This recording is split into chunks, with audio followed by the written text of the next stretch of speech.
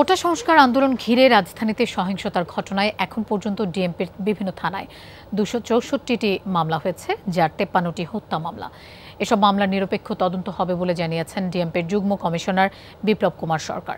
খামেরা তো দাগ হয় কীভাবে? এই যে ভাবি দাগও যাবে রাগও যাবে। নিন চাকা সুপার হোয়াইট দুপুরে ডিএমপির হেডকোয়ার্টারে সাংবাদিকদের তিনি জানান, সহিংসতার ঘটনার এখন পর্যন্ত আটাশশোর অধিক গ্রেফতার রয়েছে। রিমান্ডে নিয়ে আসামিদের দেয়া তথ্যে গ্রেফতার অভিযান চলছে বলে জানান তিনি। এ সময় থানায় কোনো গ্রেফতার বাণিজ্য হচ্ছে না বলে জানায় বিপ্লব কুমার সরকার। তিনি বলেন, নিরাপরাধ কোনো ব্যক্তি কিংবা শিক্ষার্থীকে হয়রানি করলে সেই পুলিশের বিরুদ্ধেও ব্যবস্থা নেবে ডিএমপি তিনি আরও বলেন, শুধুমাত্র যারা হামলায় অংশ নিয়েছে তাদেরকে আইনের আওতায় নিয়ে আসছে পুলিশ।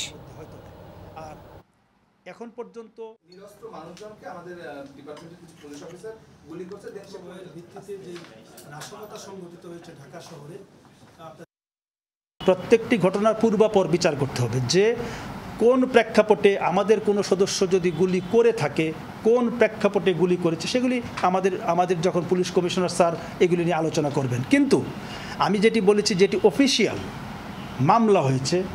শুধুমাত্র তো হত্যা মামলা না, হত্যা মামলা ছাড়াও তো আরও অসংখ্য শত শত মামলা রুজু করা হয়েছে। প্রত্যেকটি মামলার সুষ্ঠু এবং নিরপেক্ষ তদন্ত নিশ্চিত করা হবে।